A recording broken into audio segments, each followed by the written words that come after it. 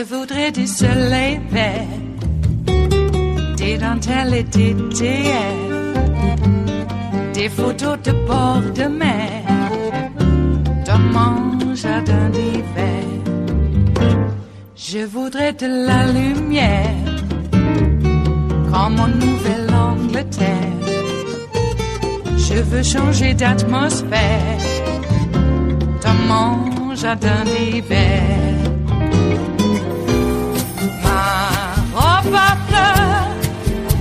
La pluie de novembre.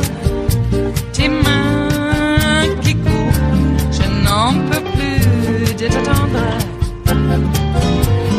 Les années passent, qu'il est loin, là je tombe. Nul ne peut nous entendre. Je voudrais du un latte So I wonder. Um, it's the DNC's job to best represent the candidates and to hopefully get them elected. They don't have a responsibility to journalism or to journalist outlets. Looking at it from that point of view, given the viewership, does it not make sense to put Democratic candidates in front of a Fox News audience, especially if you're asking them, you know, if you think the audience is going to vote for Trump and you're asking them to vote for Democrats, don't you want to put them in front of that audience? I'd, de- I'd say two things. The first is that in 2016, the Republicans didn't have any debates moderated by MSNBC, and in fact, the only time that they had NBC slated to moderate a debate, they canceled it because Donald Trump refused to go. Now, Do you think that was smart? Or do you think that they should have put their candidates in front of everybody they could? I think that you go where the voters of your party are. When, when it's a primary debate, you're going to speak to as many people of your party What about as you can. states like Now, California that have open primaries? the other now? thing, the other thing that I'd say though is that this these debates aren't going to be behind a paywall. They're on a different channel, and any Democrat who's watching uh, Fox News right now, I guarantee they know how to change the channel. What do you think? Wasn't it CNN? Wasn't it Donna Brazile through CNN that fed questions to Hillary Clinton? Wasn't wasn't that wasn't that right? I just find this extremely rich that the DNC is all of a sudden car- So it's funny if you- about if- objectivity. If you read if you read the piece that was just discussed in the New Yorker, it says that essentially the exact same thing was done from Fox News to Donald Trump. Right, and the I think that that was time. incorrect, and I this think was that at that the was same wrong. time that. Donald Trump was railing against all And of I this. think that that was is wrong. An allegation that certainly we don't agree with, and I don't know where their sourcing is or, or what their proof is on that front. But keeping it to what we're talking about right now, I don't know if it's in the best interest. Maybe it is in the best interest to keep the Democratic candidates from being pursued by somebody like Chris Wallace, who's a really tough questioner, or Martha MacCallum or Bret Baier. I mean, maybe the Democrats feel like they can't stand up to that kind of debate prep and questions. I don't know if it's that they can't stand up to it. I just I think it's unfortunate because I think okay, sure, you want to talk to your base. I get that, but on the other hand, I think if you want to move forward and have progress in life, like in all aspects, you want to talk to everybody.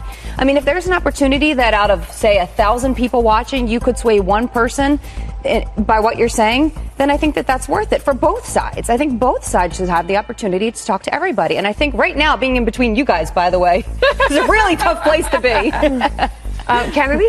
Well, it's it's interesting because I, I think what Democrats see is in 2016, the moderators of the Fox debates on Fox News uh, were very tough on the Republican candidate, Right. and I think this is a cowardly move because they they saw how these moderators really held those candidates' feet to the fire. It was not an echo chamber, and it was not necessarily a friendly forum, and No, I think that's what they're scared of. And I think Democrats, if they really want to win the general election, they need to get outside of the echo chamber. You need to really extend yourself outside of the bubble and submit yourself to this level of scrutiny. It, it was interesting, um, you know, in a recent article where they were talking about the industrial Midwest and that this is sort of the area that Trump by surprise took over in the last election that was typically a Democratic stronghold. And if that's the case, it seems like you would want to, if there were viewers that were traditionally Democrats that went to President Trump, that you want to win back. That's all the more case why you want to get in front of Trump people and show them maybe you went over for one election, but here's you know, 26 reasons or whatever it is why you should come back to the Democrats I, now. I guarantee you that Democrats, the 20 or so candidates who are running, are going to be talking to people all across the country. They're going to be talking to folks in Iowa. They're doing it right now. They're going to be talking to folks in Ohio, in Michigan. So why would they be afraid? Why would they It's be not a question of being afraid. But a It's a debate question- setting is very different, and you know that. That's different than going out to a, a, a rally or to a pancake breakfast in Iowa when, when you're standing up there with the other people who are running for president. And not only are they challenging each other, the moderators are challenging those beliefs. And, and right now, they are essentially being unchallenged about Medicare for all and some I of the ultra left. I guarantee you that all of the that all of the moderators are going to ask questions about all of these issues because this is how you find out what the candidates believe. Now, I don't think it's unreasonable to say we're going to go, you know, where the primary voters are and make sure that they can see our message, and also to say again Who based has, on who has more viewers, Fox News or MSNBC? And who has more Democrats. It is Friday, the 8th of March of 2019, and you are in West Coast Cookbook and Speakeasy. I am your chef de cuisine, Justice Putnam, and our daily special is Blue Moon Spirits Fridays. We have made it to the end of the week, folks, because it's going to get really busy this weekend. Mueller indictment Friday. Something big is coming up again, as if it, what happened during the week wasn't big enough. Wow. Hey, on this International Women's Day, I'd like to uh, extend very, very, very happy birthday wishes to my sister. Happy birthday, sis. Uh, God, I love you. And uh, we'll be seeing you later on. All right. Yeah, my sister has her birthday today, and we share the same age for just about three weeks because I'll have my birthday here at the end of the month, and then I'll be a year older than her again. Wow. Okay. Uh, my real dad was a Catholic. You figure it out. All righty. Hey, uh, Paul Manafort got off pretty good. I think that if you were able to launder, I don't know, what was it, 60 million? Maybe something less than that, but uh, tens of millions of dollars worth of rubles and you for, for the Russians, obviously rubles, and, and and you're able to launder that much money and only get four years. You're doing pretty good. You're doing pretty good. Uh, in fact, Trump was out this morning, pretty much tweeting that that was a win. Yeah, there's obviously no collusion, and we have a story about that coming up here in West Coast Cookbook and Speakeasy. Yeah, his lawyer made some sort of mention, and we'll get into that in a little bit more depth later on. But uh, yeah, Trump Trump's out there saying no collusion. Uh, my uh, former campaign manager was only convicted of uh, fraud and bank fraud, and you know, so you know, yeah, I had a crook, I had a crook, but I hardly knew him. I, this guy. Everybody knows he's a mobster.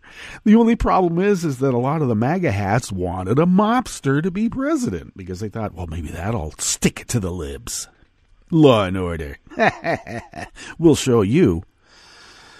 All right. Yeah, it was a ruse the whole time. And I, that's another one of those trademarked I told you so's. Because way back in the day when they had pretty much a lock on the term law and order, they were the law and order party.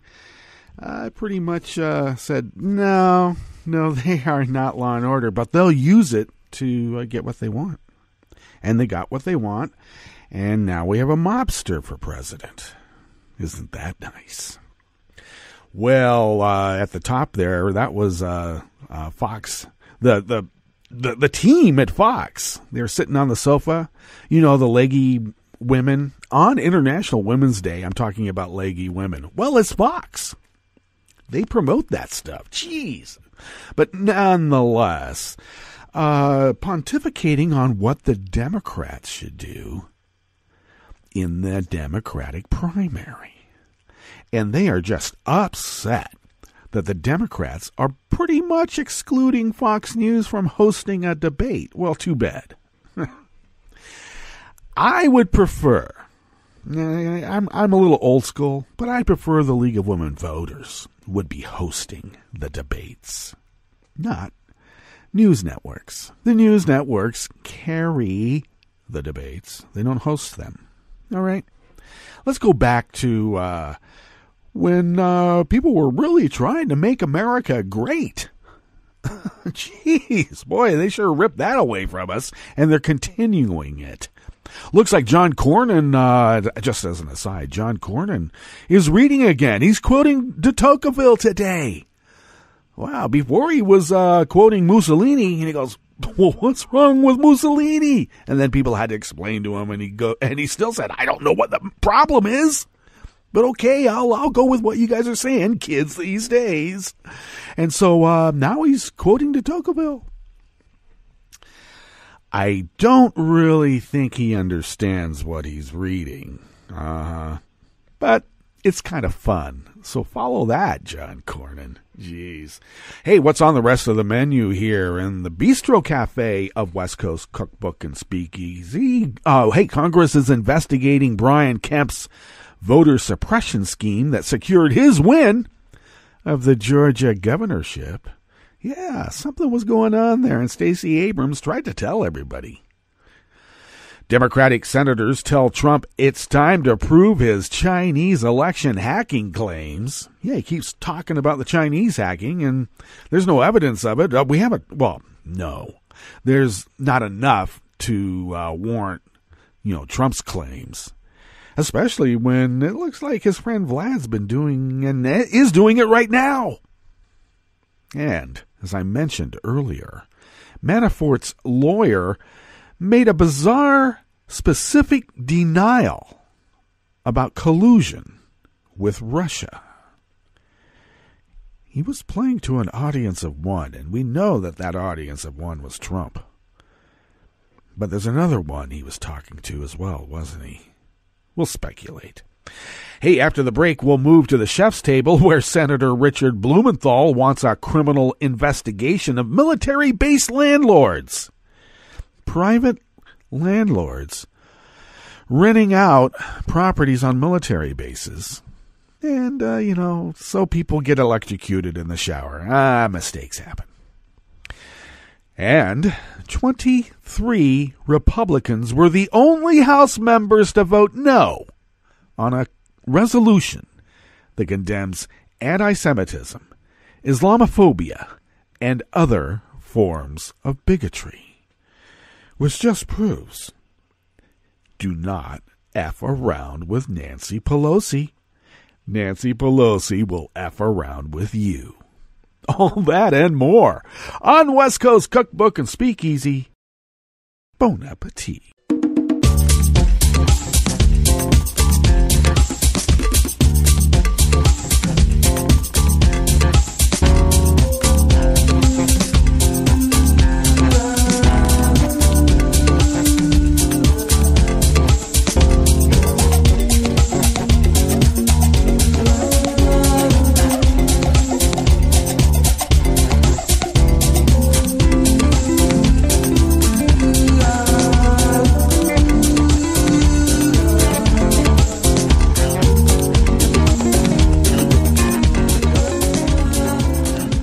Mentioned that we will be having a busy weekend, I wasn't just uh, alluding to all of Mueller indictment Fridays and all of the news that will be breaking over the weekend, because that's what the weekends are for now. They think that we're asleep, that we're doing something else, and so they'll news dump us then, like they always did. Eh, I think we're beyond that old school thinking, aren't we?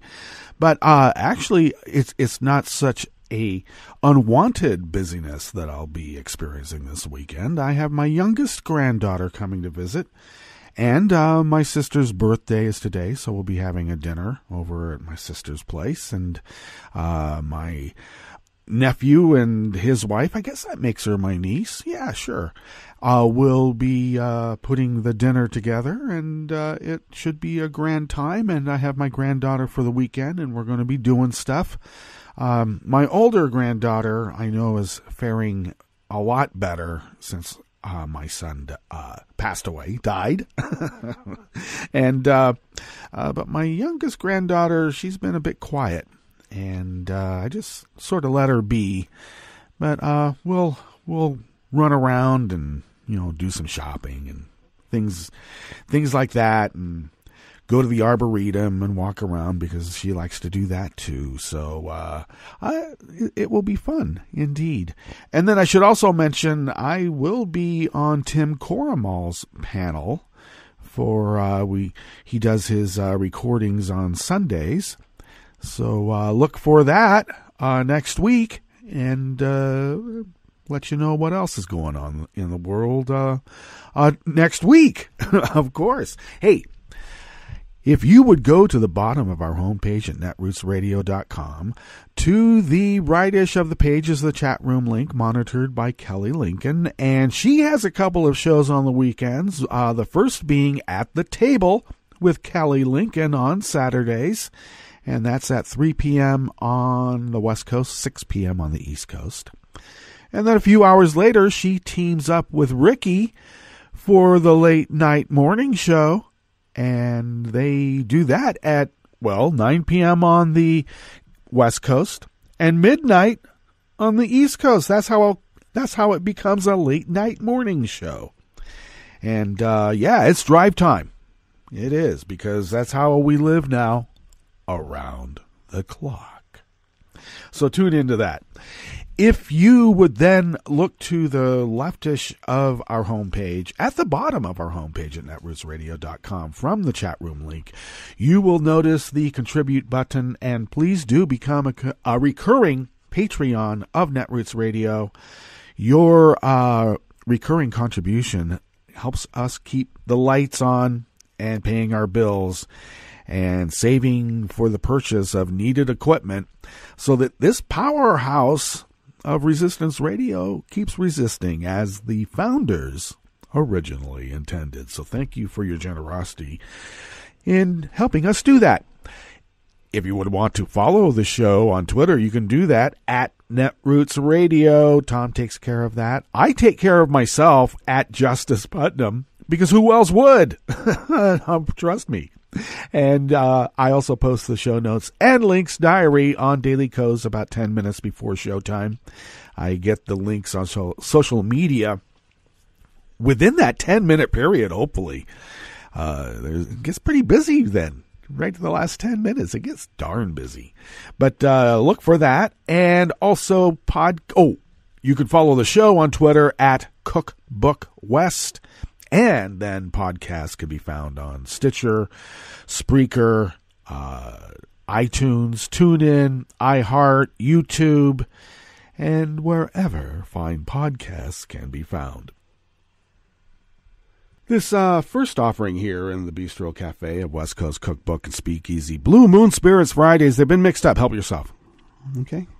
It's all there for you. I would suggest if you're if you're having a French 77 in honor of Blue Moon Spirits Fridays, wherever you are out in the real world, don't do more than two. And if you do two, if you do two of them, uh, take care. All right. Three, you're gonna need care from someone else. All right. Dan Desai Martin at Shareblue Media does bring us this first offering here in the Bistro Cafe of West Coast Cookbook and Speakeasy. Brian Kemp's years of suppressing the black vote in Georgia might have helped him win his race for governor, and uh, Dan Dan is doing the journalistic integrity thing. I appreciate it, but it doesn't uh, really uh, appear that it helped him. It, it's not that it might have helped him. It did. After years of actively working to suppress those voting rights, Congress is now taking a closer look at the shady tactics Kemp employed while he was Secretary of State and whether those tactics might have impacted the results of the election. Well, we watched it in real time. The House Oversight Committee is investigating recent reports of serious problems with voter registration, voter access, and other matters affecting the ability of people in Georgia to exercise their right to vote. Representative Elijah Cummings, Democrat of Maryland, and chair of the committee, wrote in a Wednesday letter to Kemp. Cummings added that the committee is concerned about reports that Georgians faced unprecedented challenges with registering to vote and significant barriers to casting their votes during the 2018 election. The letter was also signed by Representative Jamie Raskin. Boy, he's a fireball, isn't he? He's also a Democrat from Maryland and chair of the Subcommittee on Civil Rights and Civil Liberties. As the letter notes, as Secretary of State, Kemp helped purge 1.4 million people from the Georgia voting rolls, and you know they were black. Let's be clear. Or their fellow travelers. And then he closed 200 polling locations across the state. And in 2018, when he was running for governor, he placed the voter registration applications of 53,000 people, mostly people of color, on hold. And he put it in his desk, his Secretary of State secretary desk, and held them there. But he's Secretary of State. Just happens to be running for governor, too. During that 2018 election, voters in predominantly black counties waited hours and hours to cast their vote, even though there were unused voting machines sitting in warehouses. After years of those efforts to suppress the black vote, Kemp narrowly defeated Stacey Abrams, who would have been Georgia's first black woman governor when she was asked during the campaign if she believed Kemp was intentionally suppressing certain voters by putting those 53,000 registrations on hold. Abrams replied, absolutely. Well, Congress is looking for documents related to voter purges, polling location closures, and the availability and use of voting machines in the state in order to get a better picture of how Kemp and the Republican led state of Georgia may have driven down voter turnout.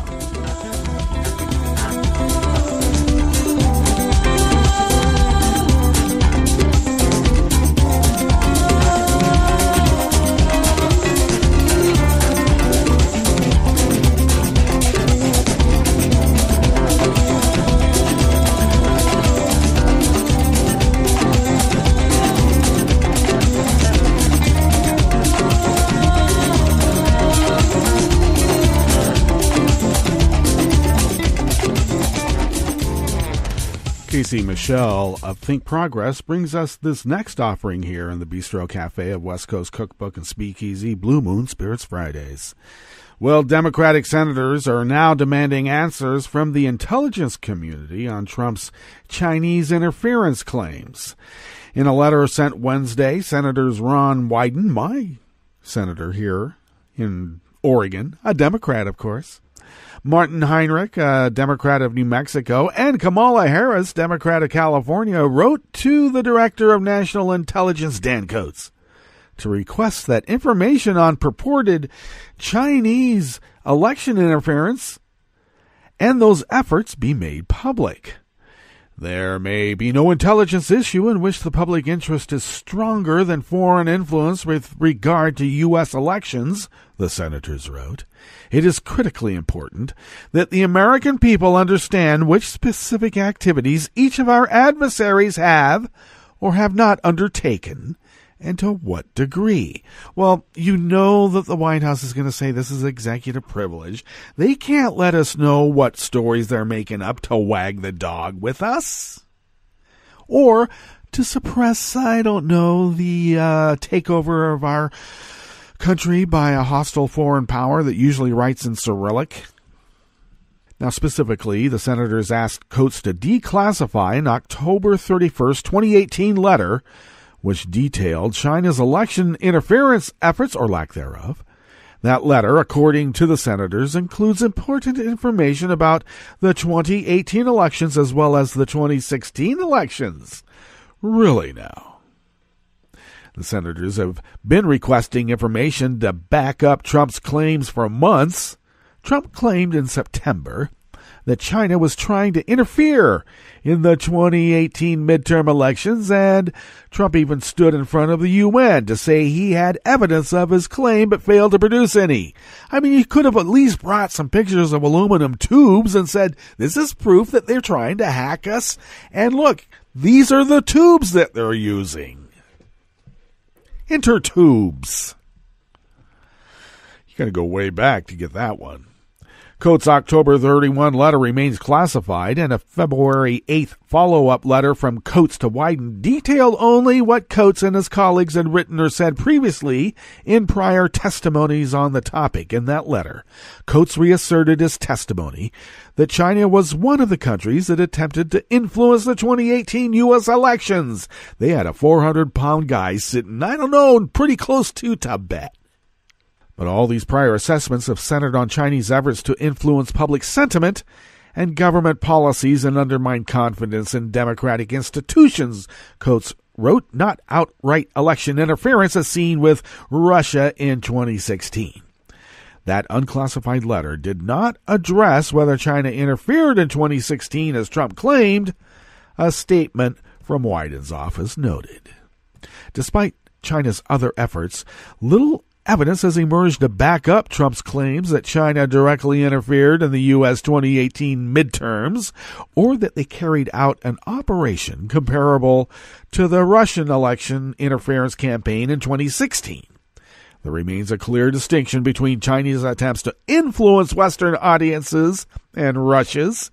The Kremlin hacked Democratic Party institutions, set up fake pro Trump social media accounts, and helped push the Republican nominee toward the presidency. And it looks like they also had specific voter data in which to, you know, make sure you got 70 extra votes for an electoral college win spread over three states.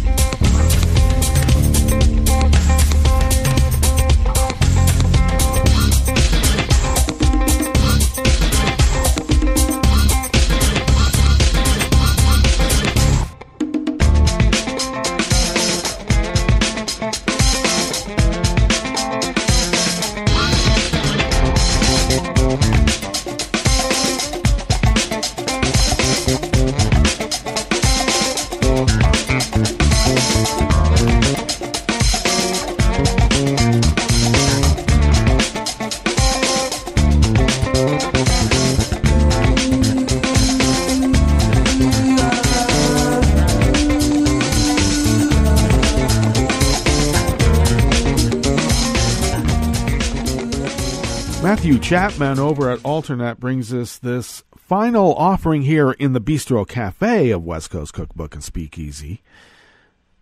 On Thursday evening, uh, Judge T.S. Ellis decided to completely ignore federal sentencing guidelines to give Donald Trump's former campaign chairman, Paul Manafort, who was convicted of bank fraud and tax evasion in his work for international oligarchs, a 47 month sentence. Shortly after, Manafort's attorney, Kevin Downing, reiterated to reporters a denial of collusion with Russia, but in doing so, qualified his statement in a bizarre way that was hard to miss.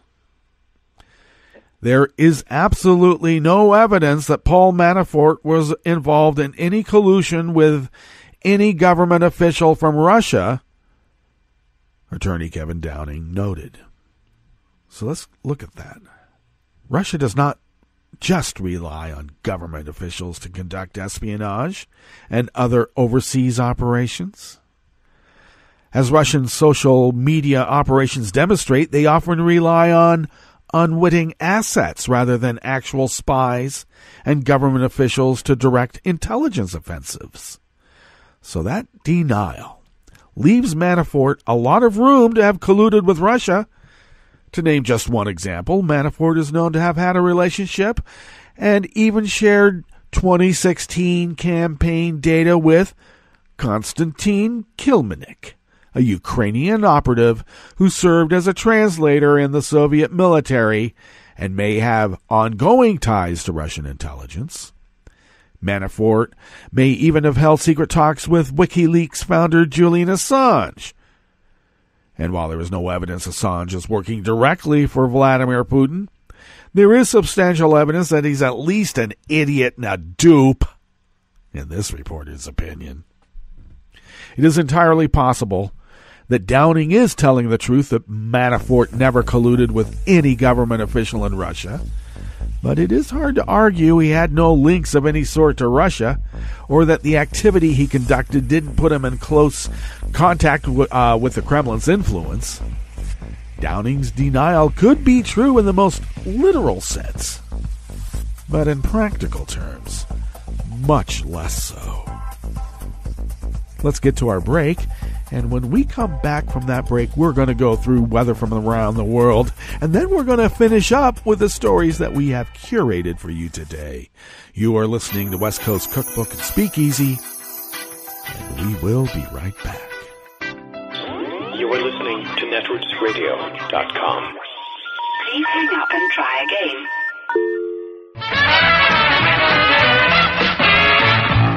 again. From a point at sea to the circles of your mind, a new force is at work for planetary transformation. New radio for a new Earth.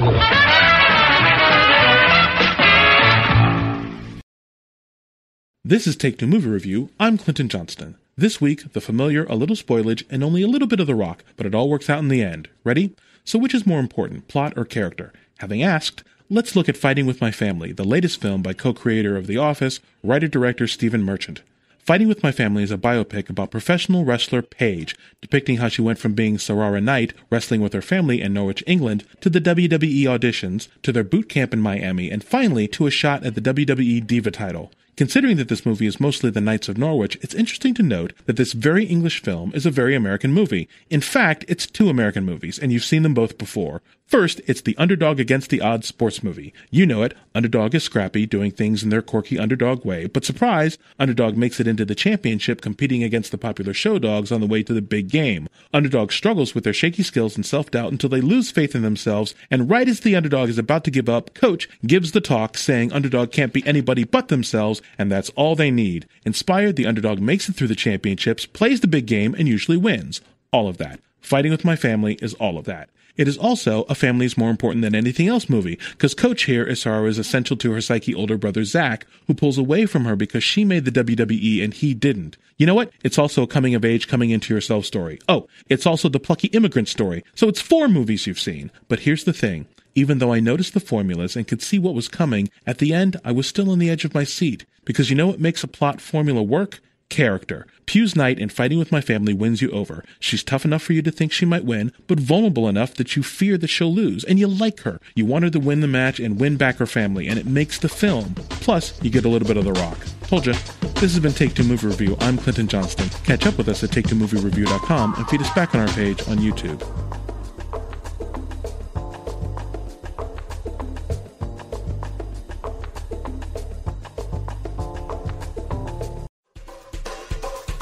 This is Scientific American's 60 Second Science. I'm Christopher Intagliata. It sounds like a witch's recipe. Gather the hearts of a fence lizard, a little brown bat, a naked tailed armadillo, and dozens of others. So initially we tried to get them from zoo, but unfortunately we, that didn't work out very well. we couldn't get any samples. Even when the animal died, we couldn't get a heart.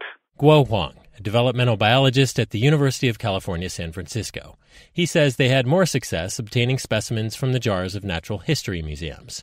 But the reason for this biological scavenger hunt?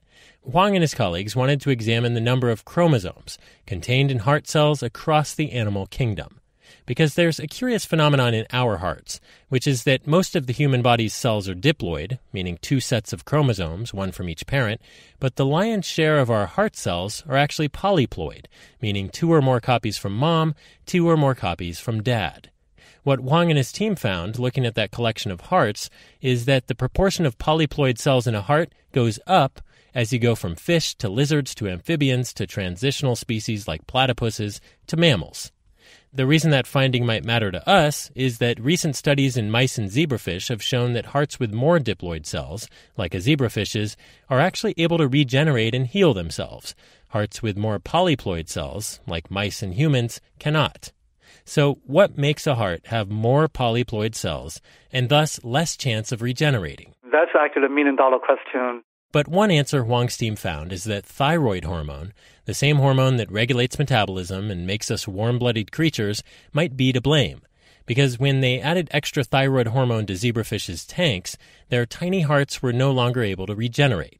And conversely, when they engineered mice to have hearts that were insensitive to thyroid hormone, the mouse hearts could regenerate back after injury. When we look at the heart function, which is mainly measured by contractility of the heart, we can see the heart function improve over time after injury, while control mice cannot improve. The results are in the journal Science. As for fixing human hearts, perhaps manipulating thyroid hormone levels could be a start. We know regulating thyroid hormone probably alone is not sufficient to cure heart disease, at least for promote heart regeneration completely. And if we can figure out other uh, major regulator of this process, we might be in a better shape. Thanks for listening. For Scientific American's 60 Second Science, I'm Christopher Intagliata.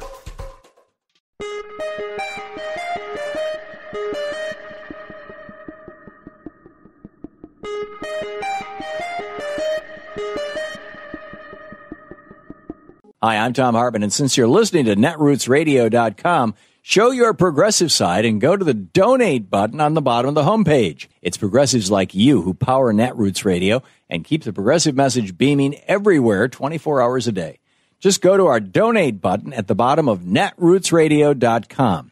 Thank you for keeping progressive radio at full power.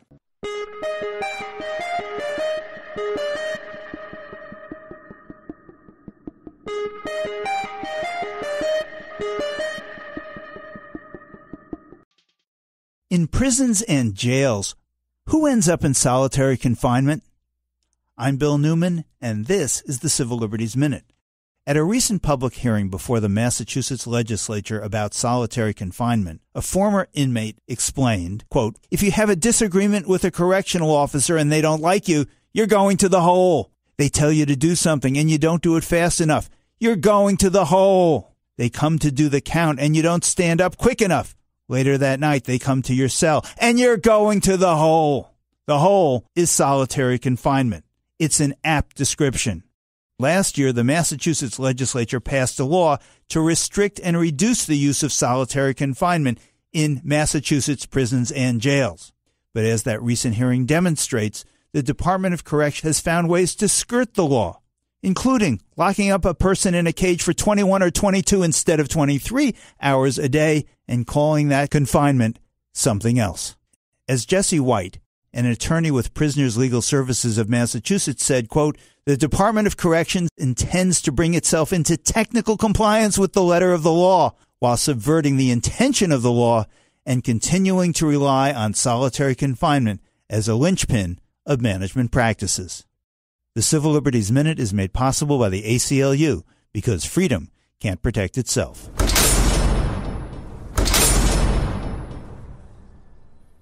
I'm Rick Smith, and this is Labor History in Two. You may know that March is Women's History Month, but did you know why it takes place each year in the month of March? It all goes back to today in labor history. The year was 1857. That was the day that hundreds of women working in New York City's garment industry went on strike. The women demanded better wages, safer working conditions, a 10 hour workday, and equal rights. In the years that followed the historic strike, March 8th became an important time for women workers to rally in the city.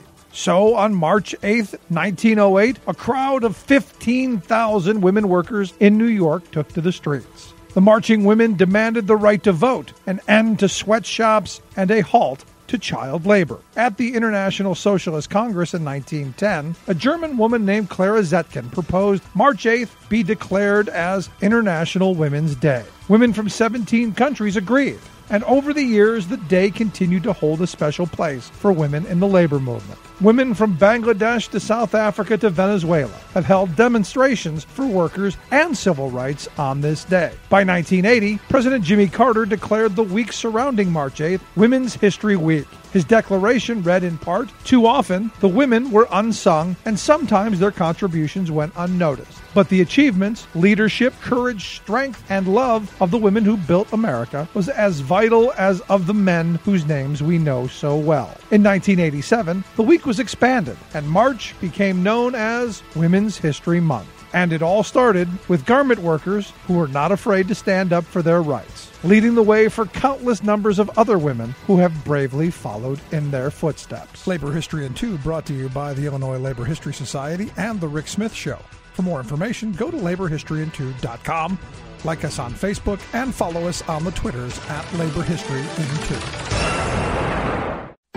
I read the news today, oh boy. It's time for Nicole Sandler's What's News from NicoleSandler.com and the Progressive Voices Network. Donald Trump's former campaign chair Paul Manafort was sentenced to less than four years in prison by a federal judge on tax and bank fraud charges brought by special counsel Robert Mueller. A 47 month sentence in this case, where Mueller's prosecutors had asked for 19 to 24 years.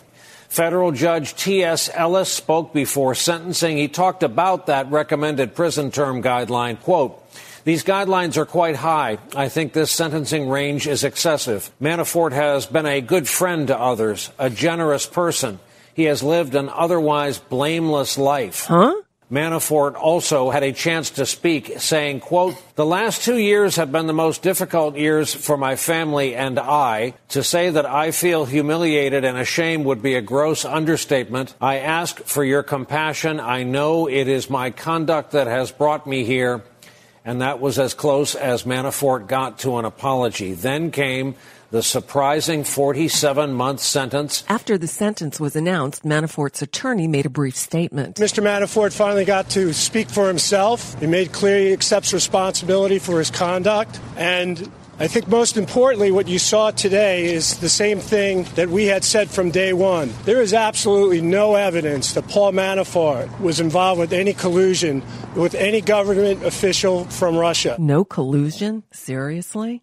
By a vote of 407 to 23, the House on Thursday passed a resolution condemning anti-Semitism and other forms of hatred, this following days of debate over comments by Representative Ilhan Omar that some lawmakers said were anti-Semitic. Amid a sharp split among Democrats, an initial plan for a resolution that focused on anti-Semitism was broadened to include language against Islamophobia and hatred of many minority groups.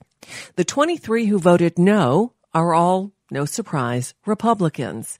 The list of bigots includes Louis Gohmert, Paul Gosar, Peter King, and the number three in Republican House leadership, Liz Cheney. Noted racist and white supremacist Congressman Steve King of Iowa voted present.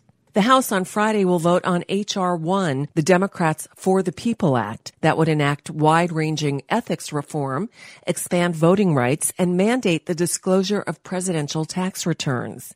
As you'd expect, the Republican Senate Majority Leader Mitch McConnell has said he won't bring it up for a vote. The White House also issued a veto threat on the measure. Congress is investigating a report that says the United States government created a secret database of activists, journalists, and social media influencers tied to the migrant caravan, and in some cases, placed alerts on their passports. The Department of Homeland Security and the House Homeland Security Committee disclosed the probe following a report that CBP officials in San Diego made a list of 59 reporters, lawyers, and activists who were to be targeted for questioning when crossing the U.S.-Mexico border. The committee has demanded a copy of the list, as well as any dossiers on the individuals and an explanation of why each person was included on the list. Remember that citizenship question the Trump administration wants to put on the 2020 census? A second judge has now ruled against it and raised red flags about the Secretary of Commerce, Wilbur Ross. MSNBC's Chris Hayes explains. For the second time this year, a federal judge has taken the extraordinary step in ruling that Commerce Secretary Wilbur Ross acted in bad faith and broke several laws when he asked a citizenship question to the 2020 census. Last year, Ross said that there was no evidence that the response rate would drop once the citizenship question was added. He told Congress it was the Justice Department that, quote, initiated the request, which would lead to doing a better job of enforcing the Voting Rights Act of 1965, because we know how obsessed the Sessions DOJ was with that. Well, it turns out none of that was really true. Court documents revealed that Ross actually came up with the citizenship question after Steve Bannon asked Ross if he would be willing to speak with Kansas Secretary of State Chris Kobach about a possible citizenship question. The lies that Ross has told are so egregious that last month, when a federal judge ruled against the decision to add that question to the 2020 census, he wrote that Ross's explanations for his decision were unsupported by or even counter to the evidence before the agency, and that it was not in accordance with law. Then yesterday, a second federal court found Commerce Secretary Wilbur Ross acted in bad faith, broke several laws, and violated the constitutional underpinning of representative democracy. According to the judge, in short, the inclusion of the citizenship question of the 2020 census threatens the very foundation of our democratic system and does so based on a self-defeating rationale. And finally, Friday is International Women's Day and March is Women's History Month. It figures that the Trump administration marks the occasion by rescinding the International Women of Courage Award it had offered to Finnish investigative journalist Jessikka Aro after reportedly unearthing some old anti-Trump tweets. Foreign Policy reported Thursday that Aro was originally chosen for the reward because of her investigative work exposing Russian troll factories and had regularly tweeted criticism about Trump's sharp political rhetoric and attacks on the press. And that's a bit of what's news for now. I'm Nicole Sandler. If you appreciate these reports and the Nicole Sandler Show, I hope you'll consider making a contribution. My work is 100% listener supported and I can't do it without your help. Find out more at NicoleSandler.com slash donate. From UN headquarters in New York, I'm Luke Vargas with your World in Two Minutes. Saudi Arabia earned its most vocal condemnation to date in the halls of the UN Human Rights Council on Thursday, as 36 countries condemned the kingdom's murder of journalist Jamal Khashoggi and ongoing restrictions on free speech and the rights of women. And it's long overdue. Lou Charbonneau is the UN Director for Human Rights Watch and said Thursday's joint statement was the first time ever that Saudi Arabia faced public criticism at the Geneva based council. We're glad that states are putting their views on the record. A number of U.S. allies joined the criticism of Saudi Arabia, but the U.S. was nowhere to be found. President Trump withdrew the U.S. from the Human Rights Council last year, a move that allowed another vocal country to take America's place. Iceland replaced the United States after it left the Human Rights Council in a short sighted show of solidarity with Israel. It's ironic that it was Iceland that actually led this effort. Whether Thursday's statement does anything to change Saudi Arabia's behavior remains to be seen. A growing number of countries want Saudi Arabia to cooperate with an investigation into the Khashoggi murder being led by UN expert Agnes Callamard. Last month, Callamard faulted Saudi Arabia for blocking Turkish law enforcement from properly investigating Khashoggi's death, and she blamed the kingdom for hiding behind diplomatic protections to facilitate the commission of a crime. Bipartisan members of the U.S. Senate echoed those concerns on Capitol Hill this week, but they faced pushback from President Trump's nominee to be the next ambassador to Saudi Arabia, John Abizaid.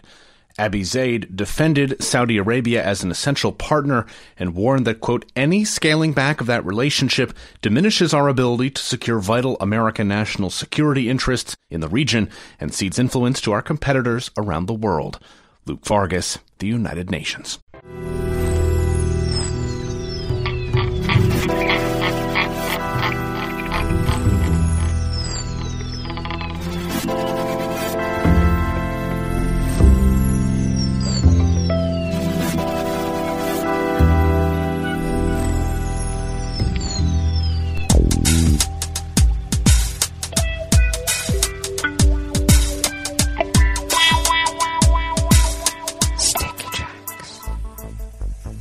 Thank you for accompanying us here to the chef's table at West Coast Cookbook and Speakeasy. Blue Moon Spirits Fridays. We always begin weather from around the world along the banks of the Rogue River in the Rogue River Valley of Southern Oregon on the west coast of the continental United States of America, where it is currently 34 degrees Fahrenheit and it even feels like 34 degrees Fahrenheit. We're looking to have, well, uh, a high of about 48 to 49 degrees, though over the weekend, we're looking at highs in the mid to upper 50s. Overnight lows, though, in the low 30s, but no chance of rain until, well, Tuesday or Wednesday. Right now, winds are light and variable out of the north and they will increase, it looks like, in about an hour or so. and they will have shifted out of the west southwest at 5 to 10 miles per hour. And then tonight, as we have that chilly low 30s uh, weather, they will continue at 5 to 10 miles, but have shifted then out of the south to southeast. Well, that's going to be nice. Uh, we're also looking, as I said, at rain Tuesday or Wednesday, though the nights are not going to be as chilly. Uh, possible still snow showers mixed in with the rain, and we'll look to see how that is. We're going to have some nice days until then. Pollen is rated at none. The air quality index is at 27 parts per million. Considered good for some, not so good for those that have breathing issues. The daytime UV index is at 4 and moderate. Uh, really, time, any time is good time to put on some sunscreen, but is getting even more important now. Barometric pressure is rising at 29.77 inches. Visibility is up to 9 miles, and humidity is at 91%. So we still have some humidity in the air. Well, weather from around the world is brought to you by people's personal weather stations that they purchased. These people planted these purchased personal weather stations somewhere on their property, and these people positively live around the world. London is 49 degrees with rain. Paris is 54 and mostly cloudy. Rome is 61 and partly cloudy. Kiev is 56 and fair. Kabul is 38 and fair. Hong Kong is 60 degrees with rain. Tokyo is 41 degrees and clear. Sydney, Australia is 73 degrees and partly cloudy. San Francisco, California is 46 and fair. And New York, New York is a chilly, crisp 32 degrees Fahrenheit and fair. If you think that 32 degree freezing crispy air is fair, you're at home. And that is weather from around the world, brought to you by people's personal weather stations that they purchased. And these people planted these purchased personal weather stations somewhere on their property, and these people positively live around the world.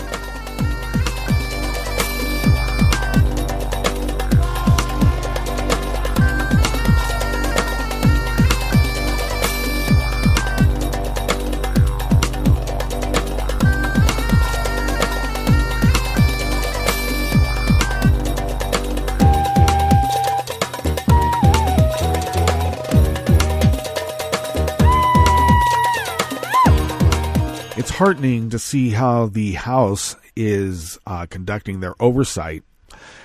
And it would be even more heartening if we could wrest control of the Senate from the Republicans, who seem to be there only to obstruct and maybe dismantle the last vestiges of what it is to be America, at least in this reporter's opinion. So it is even more heartening to see Richard Blumenthal uh, stepping up here and trying to get something done on the Senate side in spite of the obstacles that he's going to have thrown his way. Uh, this offering here, or offering, this amuse bouche here at the chef's table is out of Reuters by anonymous worker bees. Well, Blumenthal called yesterday for a criminal fraud investigation of private landlords who operate housing on U.S. military bases following Reuters' report that showed how thousands of U.S. Military families were subjected to serious health and safety hazards in on base housing. Well, are these the same people that would build the barracks over in Iraq when George W. was doing stuff and our troops were getting electrocuted in the showers? Is that the same group? I wonder. Blumenthal was speaking at a hearing of the Senate Armed Services Committee called to discuss how to hold the military and contractors accountable for substandard living conditions on some bases. The U.S. Army, Navy, Air Force, and Marines unveiled a proposed Tenant Bill of Rights on Wednesday, which we reported about here in West Coast Cookbook and Speakeasy, that would hand more power to military families facing housing hazards. The proposed bill could usher in a major overhaul of the military's two decade old housing privatization program. Among other steps, it will require the military to renegotiate contracts worth billions of dollars with the real estate companies and bondholders who back the deals. The measure was prompted by a Reuters series called Ambushed at Home that detailed how thousands of U.S. military families have been subjected to hazards including mold, lead poisoning, pest infestations, and other issues that have only limited tenant rights under the military's confidential contracts with private landlords. A draft of the document signed by the Secretaries of the Navy, Army, and Air Force proposes several measures. One would allow military based tenants to withhold rent payments from landlords if housing troubles persist. I would say put it in an escrow account. Please keep a paper record. Don't just not pay your rent. Put it in an escrow account. Please potentially resulting in refunds, and then other provisions would guarantee tenants access to housing advocates when they dispute landlords or allow them to move at no cost to suitable lodging if repairs are not made. Once again, do not just withhold rent, put it in an escrow account.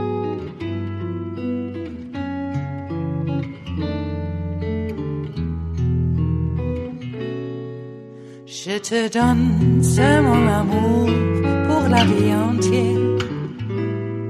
La promesse de me trouver à tes genoux. Aussitôt que tu m'appelles, rester toujours fidèle. C'est tout. C'est tout. Je te donne tous mes printemps, mes étés de mer mes automnes quand les feuilles tombent partout. Si ce n'est pas une bonne affaire, je te donne tous mes hivers. Emily Singer of Shareblue Media brings us this last amuse bouche here at the chef's table at West Coast Cookbook and Speakeasy, Blue Moon Spirits Fridays. Republicans are in disarray after spending days condemning what they called anti Semitic tropes from a Democratic lawmaker, nearly two dozen GOP lawmakers voted against a House resolution that condemned anti Semitism, Islamophobia, white supremacy, and bigotry of all kinds. All Democrats voted for the resolution, which specifically condemns recent gun massacres where the shooters were motivated by bigotry one at a black church in Charleston, South Carolina, and one at a synagogue in Pittsburgh. It also singles out the white supremacist march in Charlottesville, Virginia, where a neo Nazi murdered an innocent anti racism protester when he motored down in his car. Well, we all know that that resolution was sparked by comments by Ilhan Omar, who criticized the influence of the Israeli lobby on American politics. She was herself criticized for the way she phrased her, her remarks, which many said echoed anti Semitic tropes. But Republicans were especially eager to accuse Omar, a Muslim woman of color and a Somali refugee, of being a raging anti Semite who deserves to be punished. Their outrage is as hypocritical as it comes. And I should add one more time Nancy Pelosi manipulated this vote because she knew that the usual suspects wouldn't vote for it. Why? Because there were some very fine people on the Nazi side of the Republican Party. And it's getting hard to figure out where the demarcation is from Nazi and not Nazi. All right, that brings us to the end of our broadcast period for the day and also the week. But you know that Netroots Radio is going to broadcast on, and we'll meet up on Monday for River City Hash Mondays right here in West Coast Cookbook and Speakeasy, of course. So you know it's Mueller uh, Indictment Friday. What's going to happen tomorrow? I don't know, but uh, Netroots Radio will be there. Uh, we have some live uh, uh, national providers that will bring you all that live news as it happens. So do stay tuned to Netroots Radio all day and all weekend for all the breaking news as it breaks. And we'll meet up here on Monday, right here in West Coast Cookbook and Speakeasy Bon appetit.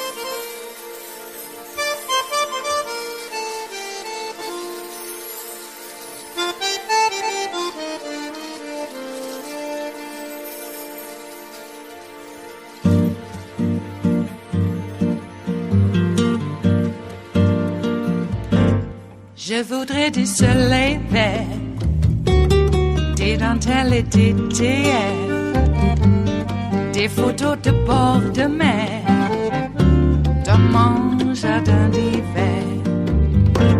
Je voudrais de la lumière, comme en Nouvelle-Angleterre. Je veux changer d'atmosphère dans mon jardin d'hiver. À fleurs sous la pluie de.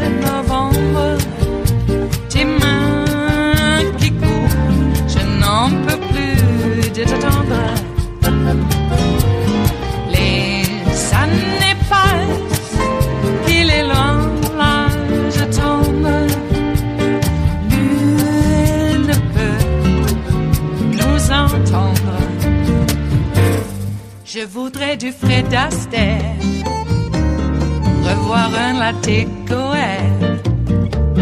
Je voudrais toujours te plaire dans mon jardin d'hiver. Je veux déjeuner par terre, comme au long de golfe clair. T'embrasser les yeux ouverts dans mon jardin d'hiver.